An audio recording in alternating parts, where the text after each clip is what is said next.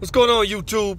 I want to talk about blacks pulling each other down for a second, man. Blacks, we pull each other down at all costs. We hate to see each other do better, jealousy, envy. And you know what? Part of that is because all of us, most of us, was born with nothing. And you ask yourself, why do other races hate to see, love to see each other come up? But see, we were born without nothing. And other races, like of course, white whites was born with a decent amount. So all their friends already have it. So they're pulling each other up because you already have it. And you want to see the next man come up. But when you don't have it and somebody else is eating chicken, rice and corn and eating good every day and you come home starving, it's human nature to be jealous. It is, you know. I find myself jealous of others. Certain things, not much, but certain things you got to check that inner jealousy.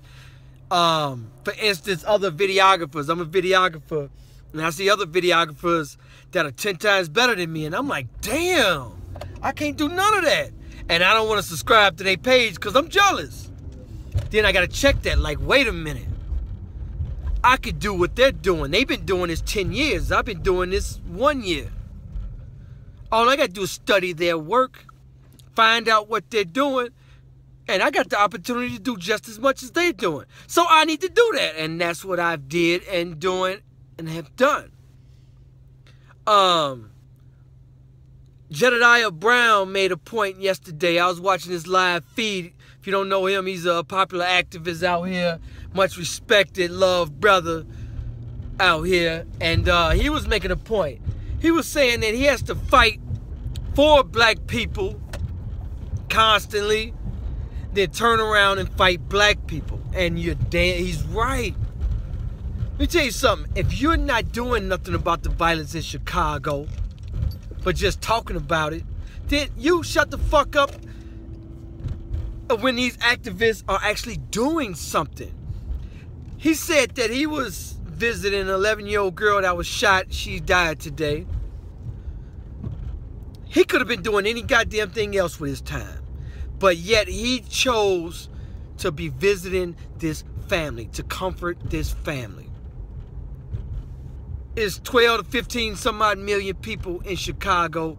And out of all the fucking people, he chose to visit them. Nobody else. Few other people, but nobody really. And a lady had the nerve to be mad, pissed up, upset at him for doing that. Why?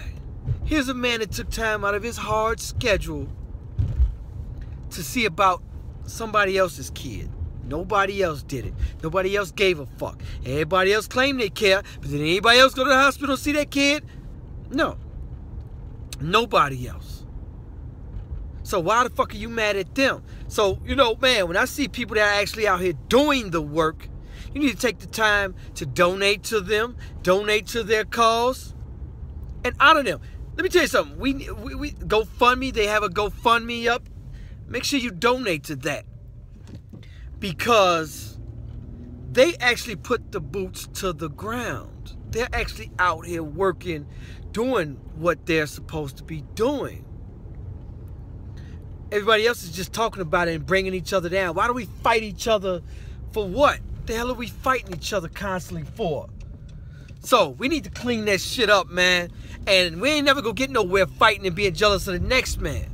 Understand that that is your brother, my, your sister, your niece, nephew. If you need anything from me, if you need a favor, if you hit my line, hit my line, email me, even strangers. Hey, I need an interview on My Life In The Chi. Anything that I can do, I will do it.